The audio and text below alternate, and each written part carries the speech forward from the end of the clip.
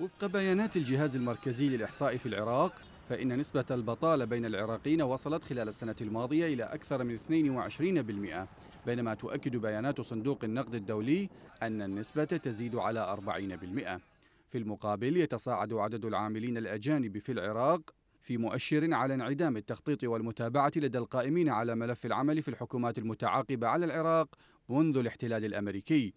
فبحسب نواب في البرلمان يبلغ عدد العمال الأجانب في العراق نحو مليون شخص أو يزيدون.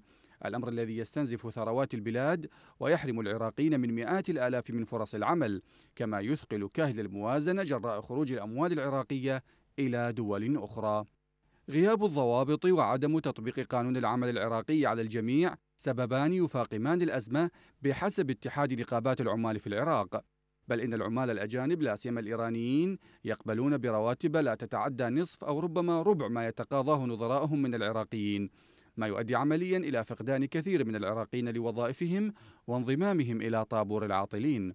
ولا ينتهي الأمر عند العمالة الأجنبية كسبب لتفشي البطالة في العراق فالفساد والتلاعب بالدرجات الوظيفية وقصرها على أقارب مسؤولين وحاشيتهم من وزراء ونواب وغيرهم كلها أسباب تفاقم أزمة العراق وتدفع العراقيين إلى الخروج إلى الشوارع احتجاجا على أحوال وطن يتهم ساسته بالفساد السياسي والإداري ونهب أمواله ومقدرات شعبه. غير أن خطورة تصاعد أعداد العمال الأجانب في العراق لا تتوقف عند تفشي البطالة بل تمتد لتشمل أخطارا أخرى أمنية واجتماعية وربما ديمغرافية.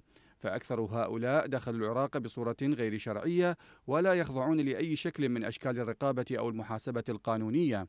كما أن أعدادا كبيرة منهم يدخلون العراق بدعوى السياحة الدينية ومن ثم لا يعودون إلى بلادهم.